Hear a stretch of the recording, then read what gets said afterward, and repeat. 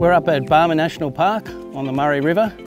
We're undertaking a research project on these beautiful creatures, which are the Murray spiny crayfish.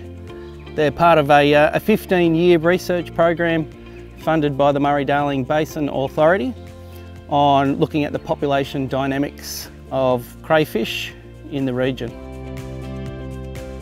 Unfortunately, Murray spiny crayfish have suffered severe declines in their abundance and distribution over the last hundred years. Part of that's due to their unique biology. They're very, very slow growing.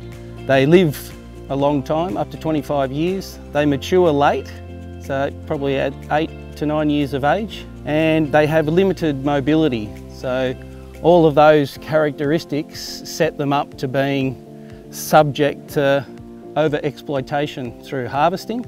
Unfortunately for them, yeah, their numbers are still in decline.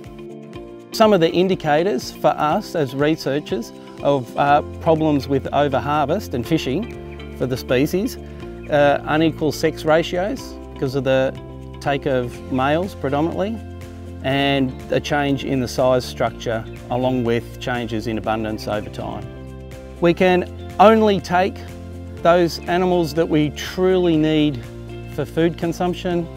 Otherwise, have a good look at them. They're beautiful animals and just put them back.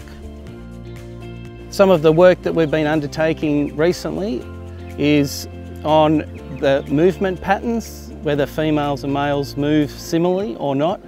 And we're also trying to eliminate bias in sampling. Spiny crayfish play a key role in nutrient cycling as they consume a lot of detritus and they're a key food source for other large-bodied species such as Murray cod and golden perch.